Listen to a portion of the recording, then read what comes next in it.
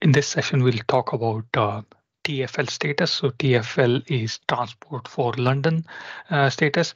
Um, so we need uh, this particular uh, demo is a Teams bot, uh, which uses OpenAI function calling and the TFL API in order to get the status of the transport in uh, in London. Now, uh, this particular sample uses the API provided by Transport for London, but that can be changed to any other city based on the based on the transport department in that particular city. Right. Um, quickly about myself, my name is Anoop. I am an MVP in the Office 365 developer category. Uh, and those are the links to my profile and blog and Twitter and GitHub. You can follow me on those platforms if needed. Uh, now, this particular sample is based on uh, an OpenAI uh, bot sample that was created by Lee Ford. Uh, I'll be uh, mm, you know, showing the link to that sample as well towards the end of the presentation. So what I've done is I've taken that sample as the base and then uh, extended it by adding something called as function calling, which we'll have a look at in a minute. Right, let's take a look at the demo first, uh, and then we, will understand the different concepts. So what I have here is a Teams bot. Uh, and uh, what we can do is we can ask uh, this Teams bot some questions. Now, ignore all the questions that I've asked uh, before. Uh, just ask a new one. So in London, we've got these different underground uh, train lines. They have got different names like Northern Line, Central Line, Circle Line, etc. So I'm just asking a question uh, about the status of one of the lines, which is the Northern Line. Uh, now what happens is this request uh, is sent um, uh, to OpenAI, uh, and then along with that, the TFL API also comes into picture, and then using the combination of both, a response is returned based on the status uh, of the line. So in this case, it says that the, the northern line, uh, which is represented by that color, uh, is in good service. Uh, and then here, uh, over here, a funny message is added as well. Now, if I ask another question uh, saying, can I take the circle line uh, to go to the office. Uh, again, the same thing happens. This question is sent to OpenAI, and then using the combination of uh, uh the API provided by Transport for London, uh, the response is is returned back. just to confirm that it is correct. So if I just open the website of Transport for London, you can see that you know, in fact, both Northern and Circle are are on good service. Now earlier uh, there were some delays on on a line called as central line. Uh, so whenever that's the case, uh, you know uh, the response is returned uh, in a similar manner. Right. So that's the demo. Uh, now if I go back to the presentation. Uh, now the scope of this application, uh, it is uh, applicable to both OpenAI and Azure OpenAI. Uh, in this particular sample, we are using OpenAI, but it can be easily switched to Azure OpenAI as well. And uh, the, the models, the OpenAI models that are being used uh, are GPT 3.5 Turbo or GPT-4.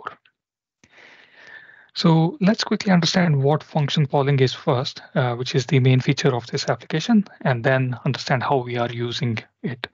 Uh, so function calling, uh, the way we can think of that is it it extends the OpenAI models, uh, in particular 3.5 Turbo and GPT-4. Uh, the way it does that is it understands the user intent based on the question, uh, and then tells what function to call. Uh, so for example, uh, if we ask OpenAI uh, about the current weather, OpenAI comes back with the response saying, I do not have access to the weather API or something like that because it has been trained up until September 2021, so it can't give us the current uh, weather information.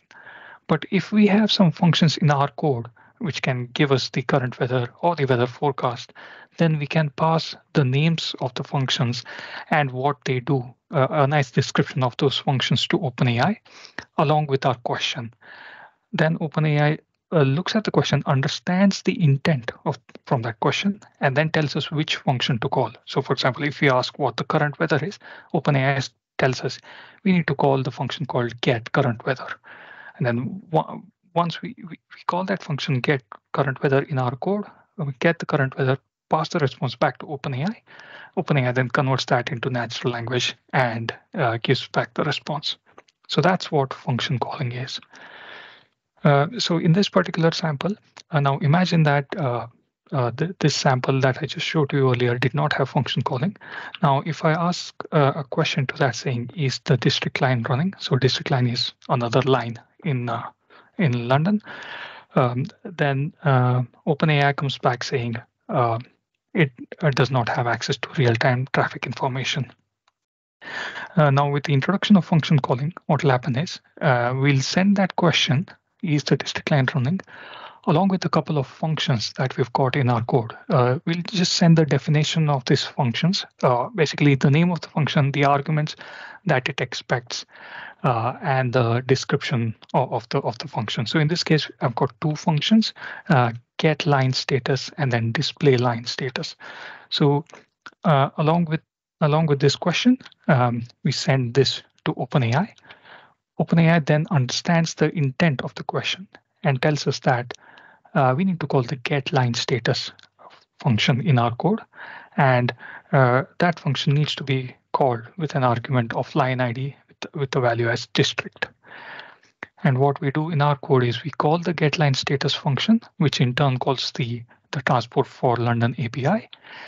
And then whatever response is returned from transport for London API, uh, it's a JSON. We send that JSON back to OpenAI. Uh, so in this case, that JSON has uh, the name of the line and the status of the line.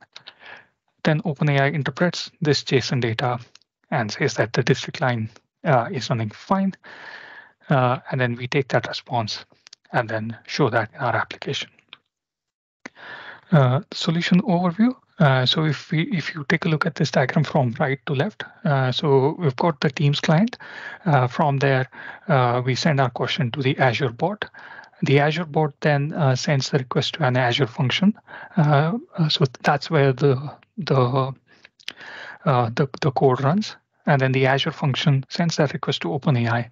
Uh, OpenAI response, and then ultimately the response is sent back uh, to the user in, in Teams. Now we are using Azure Functions as the backend uh, over here for the bot, but uh, even a web app can be used as well. Right. Uh, a quick code overview. So all this uh, all this sample is present in the Teams samples repository. Uh, the name of the sample is bot OpenAI TFL status. Uh, what we have to do is uh, to create a local settings file and then add the main things uh, like the OpenAI key and the model, and then the the app IDs and the passwords that are needed for the bot. once setting up the app, and uh, OpenAI key is all explained in the README. Uh, once that is done, uh, we've got this main file index.ts, wherein we go ahead and create uh, the Teams bot. Uh, I'm going through this code a bit quickly, uh, kind of considering the time. so what we do is we go ahead and create these something called as OpenAI messages because these are the messages which we need to send to OpenAI. Uh, so firstly, we create a system message saying uh, what the how, how OpenAI should behave. In this case, a TFL uh, customer service agent. And then we get the user message. In this case, what's the status of district line? Uh, we take those messages and then call OpenAI.